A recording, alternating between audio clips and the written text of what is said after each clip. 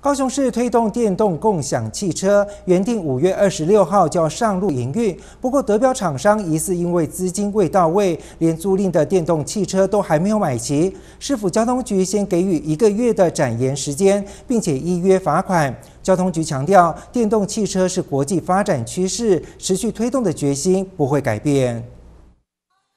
去年十月，在哈马星举办的生态交通全球盛典亮相的电动共享汽车，民众试乘之后都很满意。市府也在去年五月和厂商签约，原定今年五月二十六号上路，没有想到厂商疑似因为资金未到位，上路支票跳票。目前就我们了解，就是呃电池公司他们在整个系统。的这个车辆部分啊，那够呃还没有到位。那另外一些就是系统的对接跟这个整合的测试也还需要一些时间，所以这个也影响到我们原定的呃第一阶段的这个呃营运的这个时程，所以必须可能要在一些作业时间来啊，所以要延后来上路。位在市府市维中心的电动共享汽车租赁装体呢，已经设置完成了，但是因为厂商的电动车还没有买齐，电脑面板也没有装上，所以整个系统呢是还没有正式启用的。厂商表示，去年九月在哈马星让民众试乘之后，发现租赁的车辆连线系统必须修改，因此延宕。目前交通局已经给予一个月展延时间，并且依约罚款，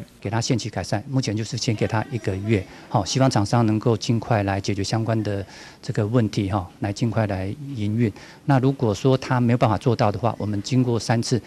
这个没办法改善，我们就会。加重处分。虽然高雄市的电动共享汽车因为厂商违约没有如期上路，不过交通局强调，电动汽车共享系统是国际发展趋势，可以有效改善空气污染、降低交通拥挤，持续推动的决心不会改变。电动汽车共享系统啊，这个目前是一个国际的趋势，对我们呃城市的这个都市的交通的这个拥挤，还有停车问题啊，都还有空气污染的改善，都具有一个重大的意义哈。所以我们。呃，交通局这边也会持续就这个计划来，呃，努力来推动电动汽车共享系统。目前选定哈马星国宾饭店、市府四维行政中心、左营高铁和巨蛋五个站点，至少提供九辆电动车。一个月之后，厂商如果还没有改善，将进行第二次的罚款，连续多次未改善加加重处罚，并且可以解约。港都新闻李义清、赖昌邦采访报道。